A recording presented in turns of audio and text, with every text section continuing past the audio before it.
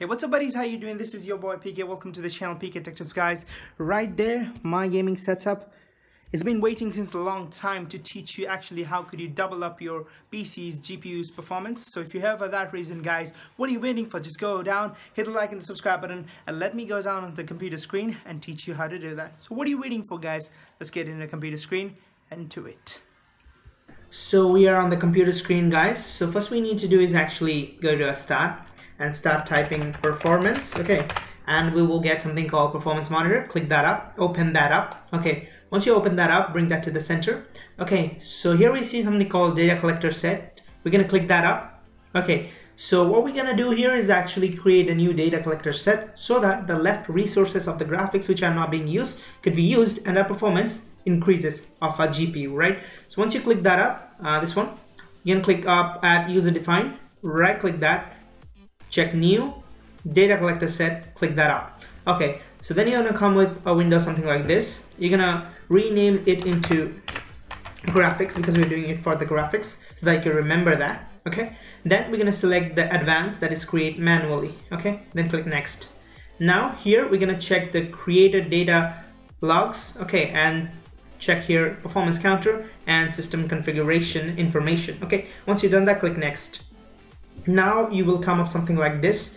Here you need to change the sample interval into a number which is equal to your computer's screen's refresh rate for which mine is 60 okay once you've done that click add. Now here is the main part. You need to listen this carefully guys. So once you open that here you're gonna see a lot of stuff right here. You're gonna go down find something called remote graphics fx graphics.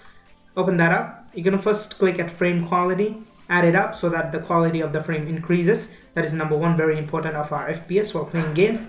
Then click compression ratio graphics compression ratio. This does is actually reduces the compression so that the quality of each frame is of much better quality as compared to previously.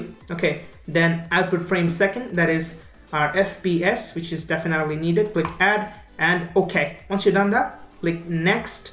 And we don't have anything to do with the registry key. Next uh, nothing to do with the root directory. Next. Now here what you're to do is leave this as default.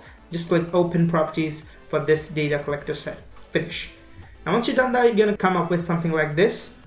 Okay what you're to do here is actually click add. So now after you click add you're gonna on your caps lock click GPU okay.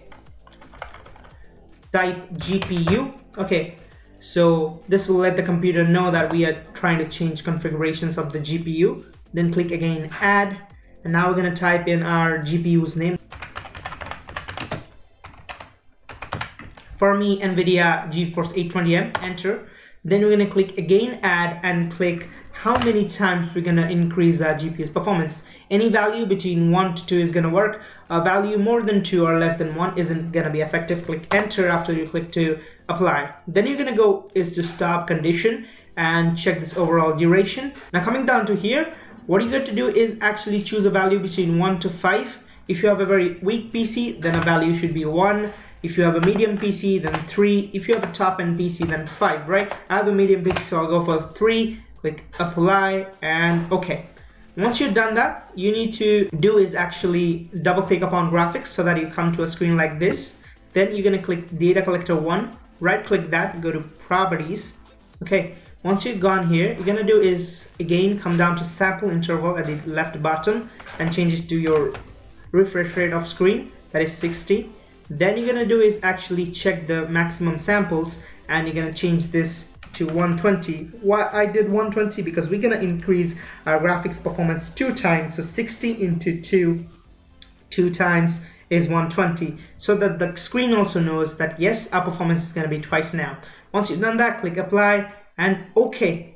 So that was it guys. Once you do this, you just need to do is just cut this up and click Alt F4 and then just restart your computer by changing this to, sorry, not shut down, restart and once you restart guys your sub is going to be done. You can feel the difference while playing the game and the performance of your computer increases. Not the computer but the graphics increases significantly for sure. So that was the video guys. If you like this make sure to give that a thumbs up. If you didn't dislike it. Subscribe for more videos like this and i'll see you in the next one. Peace